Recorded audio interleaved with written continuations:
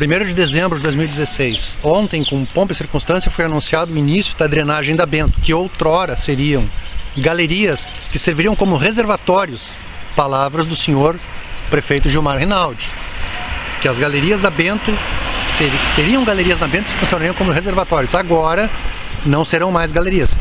Serão tubulações que começarão lá abaixo da Bom Jesus, começarão com tubulações de 30, que a prefeitura colocou na conta dos antigos prefeitos que os alagamentos eram por conta das tubulações diminutas.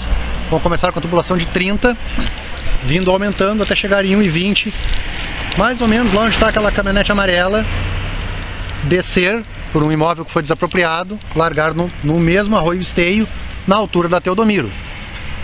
Você, morador desta região, responda.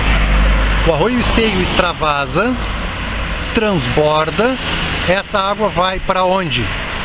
Ela vai para o lado da morada ou ela vai para o lado da Dom Pedro? Responda isso. Aí a tubulação tem que vir lá da Bom Jesus para cá a drenagem, largar no arroio Esteio, lá na região da Teodomiro, que já sofre com recorrentes problemas de alagamento, seja pelo arroio Esteio, seja pela drenagem pluvial e cloacal da Corsã. Como é que vai ficar isso aí?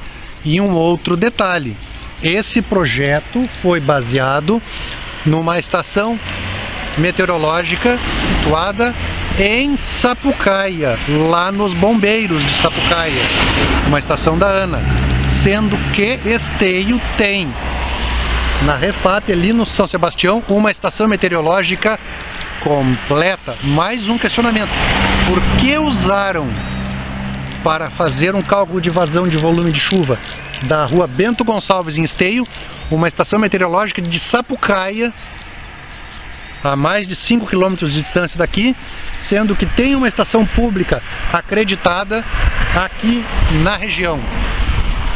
Mais um questionamento para essa atual administração responder.